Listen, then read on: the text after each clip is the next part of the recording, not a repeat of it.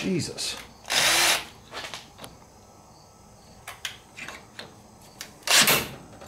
Oh, you mother. He got baptized by a streetcar.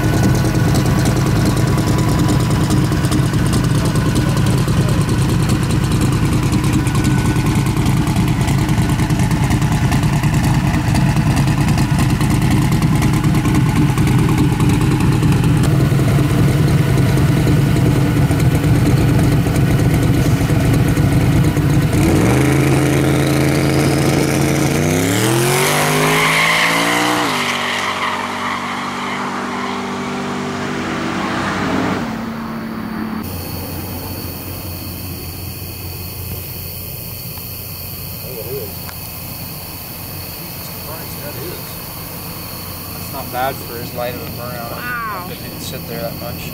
That stuff's sticky, sticky. That's wild. Let's watch this. Get my skin sticking too.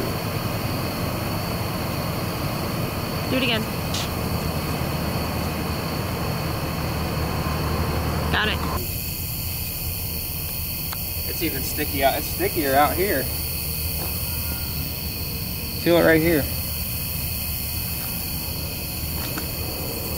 Wow. That's crazy. That's nuts. That's pretty good. I can't believe it. That stuff is definitely way better. Dude, three burnouts on that, and it would be killer. Oh, yeah. All right, guys, so we're here in the shop today. Today's project, we're going to be taking these stock front brakes off and replacing with them with an aerospace front brake kit for an S10 G body. Um, should be should be a good upgrade. I've had these stock brakes on here for ever since I've had the truck. Well, ever since the truck was a truck, I guess they've been on there. But yeah, uh, it should be a fun little install. So we're gonna start taking the old brakes off. Luckily, we've had them off before, and they're not too big of a pain to get them broke loose. Old heavy calipers off here. This, these are single single piston caliper, and the aerospace ones are a four piston. Hopefully that gives us a little bit better stopping power. We're starting to go faster and faster, and it's getting harder to stop. I know at Magnolia, I ended up in the grass a couple times. You Um, did? Yeah, unfortunately. You didn't It's tell really me dark. that. It's really dark down there, so it comes up quick. Gee, many Christmas. But yeah, we did a little slide in the grass, but that's okay. Just adds more excitement. Alright, so we got the caliper bolts out. We're going to slide this caliper up out of there. Just let it hang. And pads don't look too bad, I guess. Just let it hang there so we don't let all the fluid out. Yeah, we're going to replace this brake hose too with some braided braided hose. Um, a little bit longer. That way, when we do get a little bit more travel out of this thing, we're not going to overextend it and break a brake line. So we'll pop the dust cover off if we can get it out.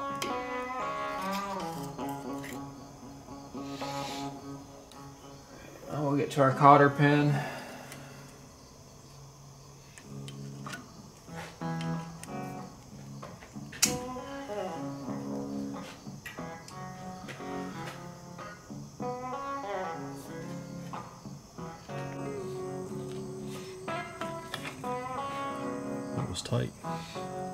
Yeah, the other side was loose and this one was kind of tight.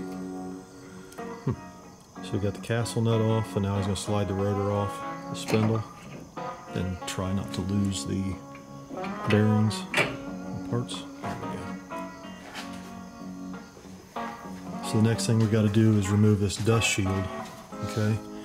Because this bolt and this bolt for the dust shield is what the aerospace bracket bolts to that holds the caliper, and then we have to take the cutting wheel and cut these two ears off of the factory spindle. So no more dust covers.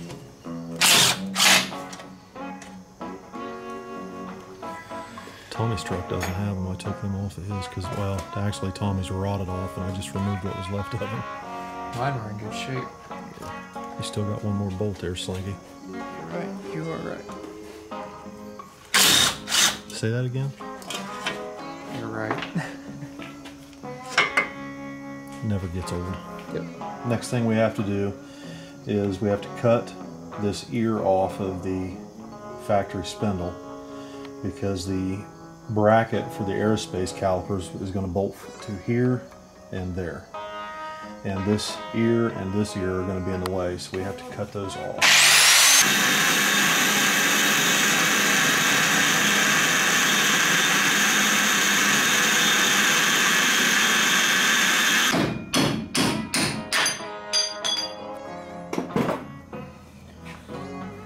Can't go back now.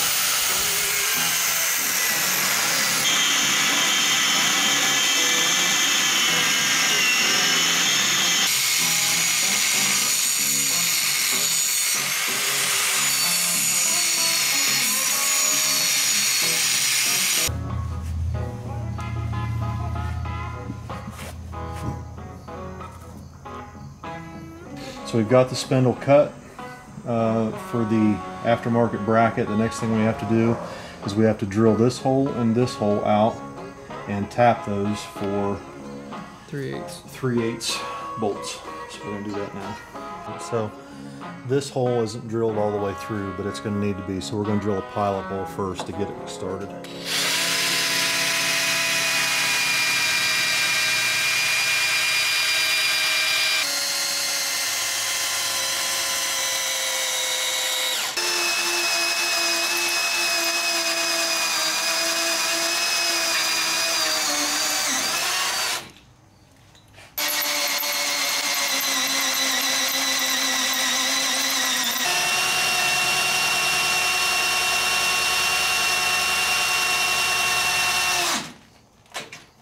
Well,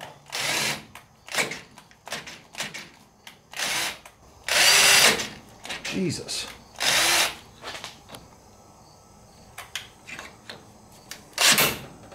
Oh, you mother. There she is. Oh,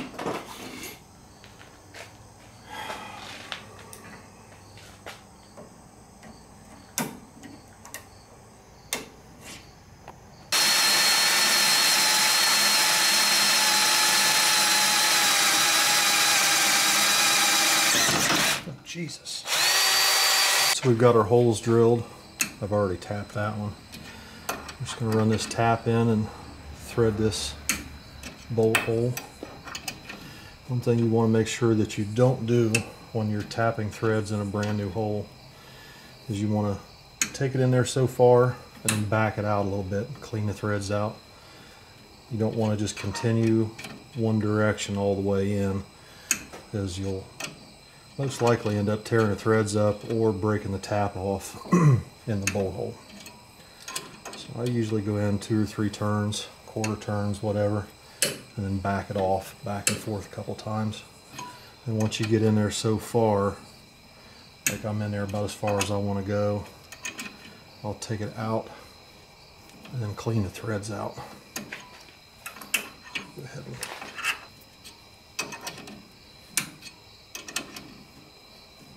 Might get another pound out of it, out of the front if I get all the grease off this thing. Here's an idea. How about we paint the whole damn truck? Let's vote. let's take a vote, guys. If you want to see me paint the truck, make it all one I color. don't want to just paint it. I want to restore it. Like, like Tommy's truck. Take the frame off of it, cut the cage out of it, pull the cab and everything off the frame, completely restore it, and put mm, I it don't all know about that, but maybe paint it. Listen, put it all back the way it came from the factory, the stripe kit, the whole nine yards, just like we did Tommy's. That way it's still identifiable. Yeah, that way everybody knows who it is. But the truck would be preserved because right now, at the rate it's going, the paint's literally falling off of it. The it's the original paint from the doors back, and like the top of the cab is almost bare. It's really starting to look rough. It looks a lot worse than the day we got it. I can tell you that. So we're preserving it. That's the thing now. We would be preserving it. Yes. I mean, look, man, this thing, this thing sees a lot of abuse. It does. I think people would rather see it preserved than just continue to go to shit. 'Cause right now, it's just going to shit. What do you guys think? Leave it, leave it the way it is, or make it uh, basically what the factory color would have been with the stripe kit. So it would be blue. It would just look like a brand new 1988 S10 with that stripe kit on it, just the way it came from the factory. But very well preserved. So the truck will last. Let me know what you guys think in the comments. I vote preserve it because I love this truck. I, you know, we had originally intended to restore it, and then it kind of got. I don't know if you call it famous. I don't know what the hell you call what we what, what, what we're doing. I don't know what you call it. Yeah, because if if we were to do that, I mean, I could keep those stock doors, hang them up, and then put the lightweight doors on it, and then paint it. You know, to where it looks like it was factory with the light doors on it.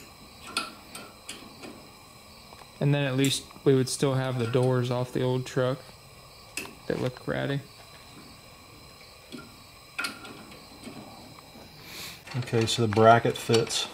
Uh, I don't know if you can see this or not, but we've had to cut all this out of the original uh, spindle so that that bracket can lay across there. So I've checked that, made sure it all fits. So now what we need to do is assemble the caliper to the bracket.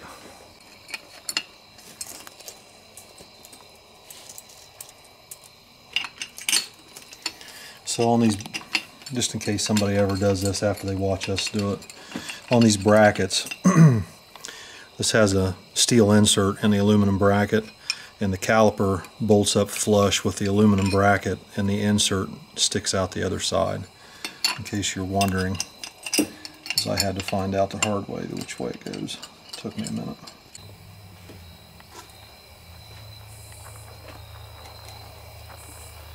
This is not the correct way to do this, so you probably shouldn't show everybody the way I do it. You're supposed to have the proper tool to pack wheel bearings. And I don't have one, I never have had one. So, we do it the hillbilly way, I guess.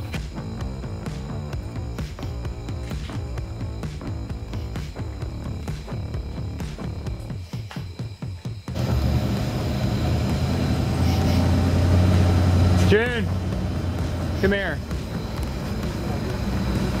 Look what the cat drug in. What's up? Not much. How you guys doing? I'm alright. Just putting these brakes on. Once we once we did one side, the next side wasn't too bad. the holes in the pads aren't even drilled out big enough. You shitting me? That's why and lost pads. Yeah, I lost pads one time, so I drilled them out the quarter inch and I put a quarter inch bolt in there and Loctited the damn things, or put a lock nut on it.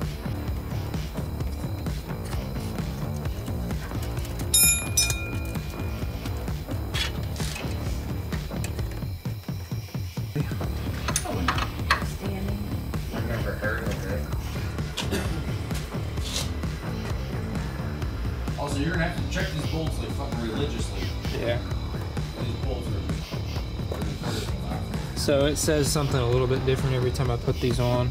Probably just because the way I've got it hillbillied up here, but 29.6. I've got 30.2 a couple times. Um, the shipping weight on the new brake setup was 30 pounds. I didn't actually weigh them before I put them on, but I'm thinking that it probably lost around 30 pounds and a lot of drag. Like I said, they wouldn't spin freely before. As soon as you take your hand off them, they would stop. So hopefully we've lost a little bit of drag there and uh, some rotating weight. We're gonna keep lightening this thing up a little bit at a time. Now back it up. Start, start from scratch. Ready? You- You gotta do the back it up. Rewind. I think you got that covered. I don't think so. Okay. So let's say you got 12 inches of suspension Are travel. little Okay. devil's horns coming out? It's probably in your ears. Okay. Alright. This is your 12 inches of suspension travel. Okay. This is your unsprung weight. Yep. Alright. So this includes your brakes or Billy Ste iron brakes and heavy shit. Okay? Okay. So this represents everything that moves down when you jack the car up. Yeah. Okay. Got it. So when you're lifting this up, and see how that's like nice fluid motion. Yeah. Now use that same energy and do it a foot away from here. Okay? These this would represent the aluminum brakes, the lightweight stuff. Okay? Now these are the old brakes. Okay? Now use that same amount of momentum and do the do the demonstration yourself. Go about a foot away. Okay? And just do a nice fluid motion. So nice. Well, uh, you're- this is my girlfriend. Bro, bro, this totally reminds me of like a boat anchor. If You're- had two different weighted anchors. Just lift the anchors, fucking You- thing, Maddie. Just lift. it. ah, it's a lot harder. Yeah. no, there's a shock. Yes. It's the it's the shock. The initial yank. It's the initial yank, okay? The initial. Yeah. It's the initial. Look at that yank. The transition. It's the initial. I don't think he did it with the same fluid motion as the other one. That one definitely yanks, dude.